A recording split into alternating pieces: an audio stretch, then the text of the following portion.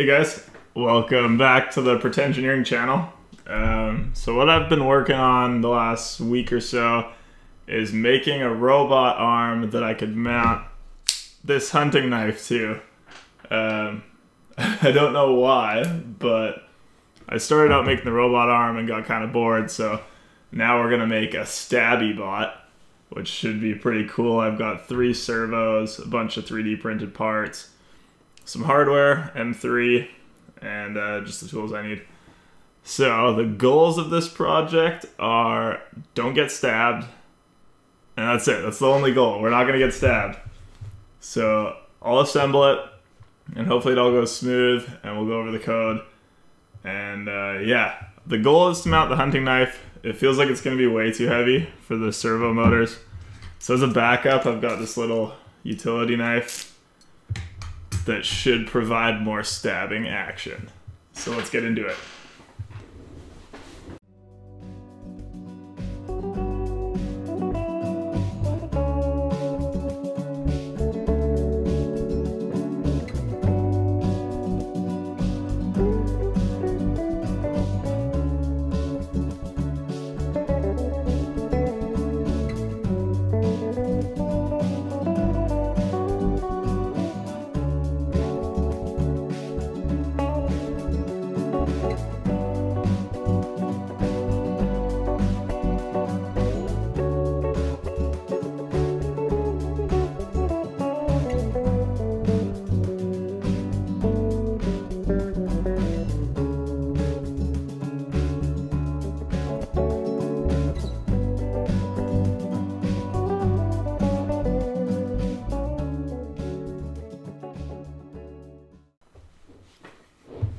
Sweet. So the base came together pretty good. This is a pretty standard way of mounting an Arduino to these kind of robot arms. So the base of the robot will be here over top of this servo.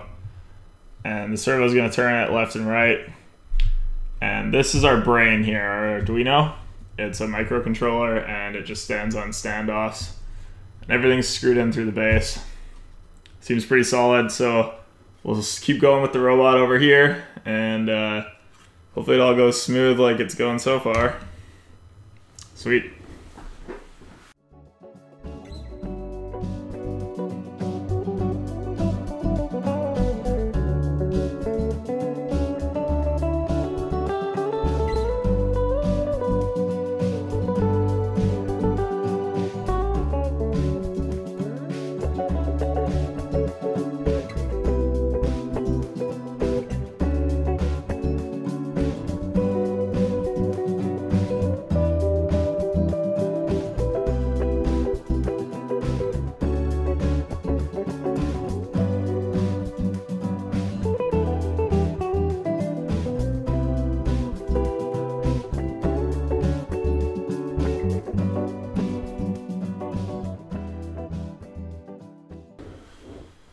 So, something I want to mention quick to any of you guys out there trying to work with 3D printed parts and servos is um, attaching servos to your parts.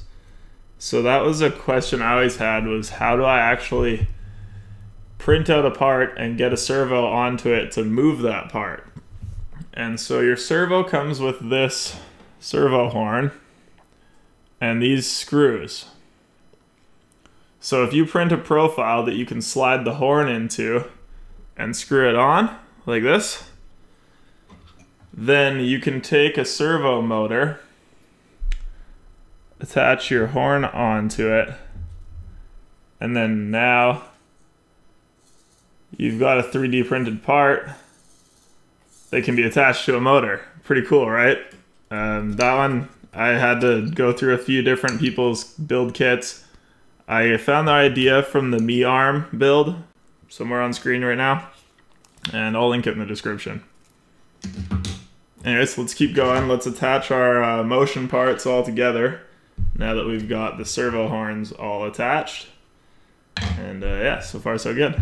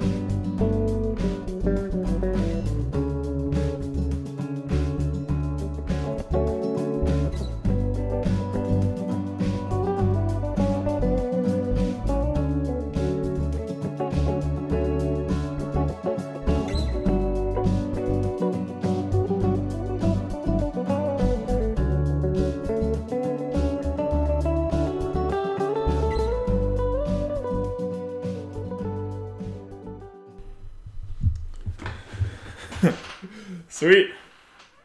So uh, we are assembled. Everything but the knife, of course, still sitting here. Bam. Um, first, though, before I mount the knife, I want to make sure that I can uh, code all the motors properly and wire it up so that it's going to work good. Um, so yeah, we got left turn, right turn, and stab. And both the motors are operating together. I figured we might need the power to complete the stabbing motion. Um, generally, you would not want two servo motors doing the same operation. Uh, an ideal design for this would be to have a higher torque servo right in the middle, operating the whole arm, just to make sure that uh, it's all in sync. You know, it's hard to get these two motors to do exactly the same thing at exactly the same time and not fight each other. But anyways, let's code this up and wire it up and uh, get the motors moving.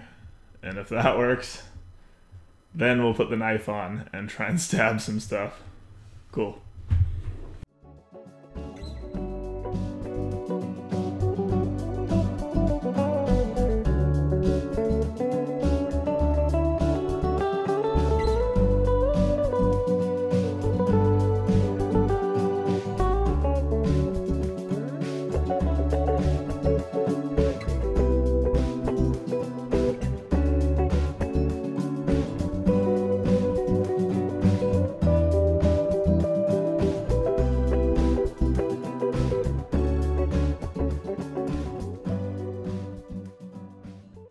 All right, this big mess here is our wiring. Um, the idea behind it is the Arduino, our microcontroller, can read the change in voltage when we turn these two potentiometers. So we turn a potentiometer, the Arduino reads the change in voltage, and then through these yellow cables, it tells our servo motors how much power and what direction to move based on the input they're receiving from the Arduino, which is receiving information from the potentiometers. So the power from our Arduino powers the potentiometers, and the power from this battery pack here powers the servos, and everything shares the same ground, which is key when you are working with two power sources in one project. Cool. Hopefully this works. All right. Stabby Bot version 1, no knife edition, is uh, up and running. And it's pretty angry. I don't know if it's running like it's supposed to. Uh, here we go. Are you ready? It does move though. a little bit after it spazzes. I think it needs some capacitors or something to control the the signal, but it does stab. Are you ready? Stab. Let's turn it sideways a little bit. There we go. Stab. Pretty cool, eh? Okay, yeah, let's uh let's put a blade on it and see what it does.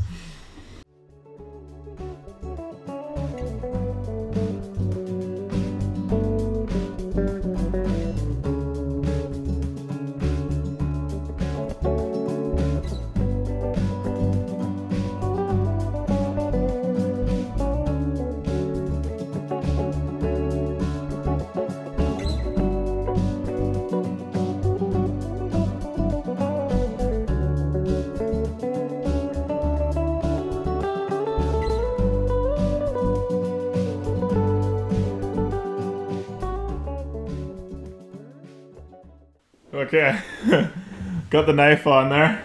It was a little sketchy. Um, I give this a zero percent chance of working because the knife is so heavy on there. But it looks really cool, right? I was kind of hoping it would stab like a cobra strike or something.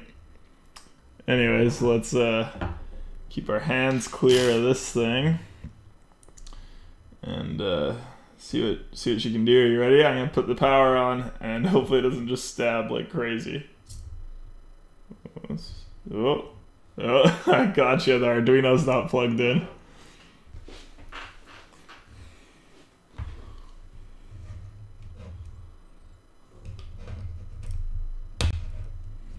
Okay. Round two. We're steering clear of the turn stab radius. Here we go. Seems, seems good so far. sort of stabs. Does it spin with the knife though? Oh yeah, that's creepy.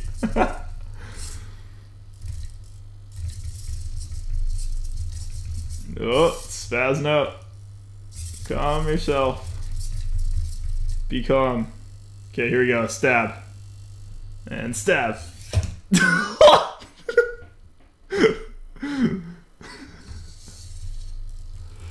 Okay, obviously some improvements need to be made, but uh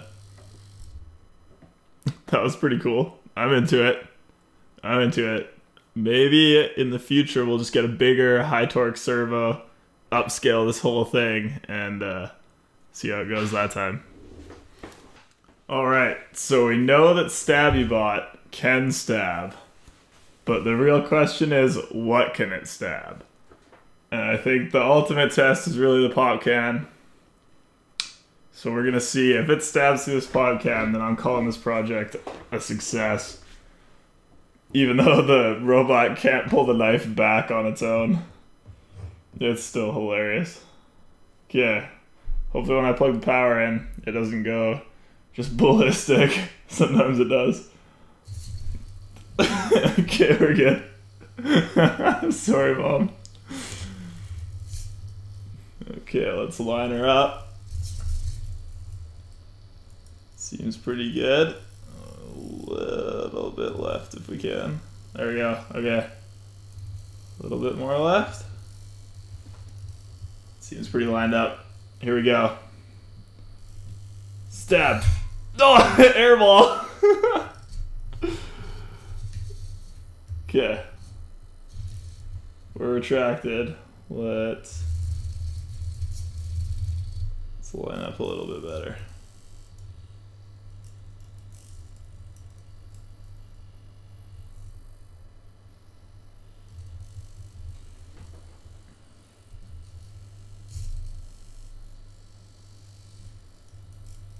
Okay, stab attempt, round two.